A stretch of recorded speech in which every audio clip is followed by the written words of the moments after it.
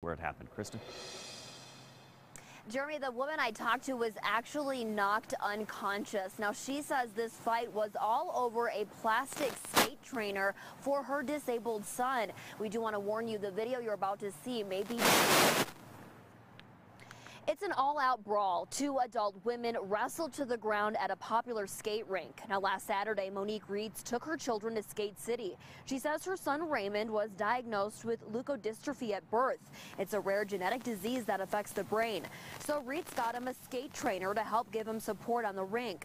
She says a woman took it from him, and when she asked for it back, she claims the woman took off her earrings and then started throwing punches. Reed says she tried to defend herself. Then she says the woman's husband kicked her in the face, all while her young daughter then rushed to her side.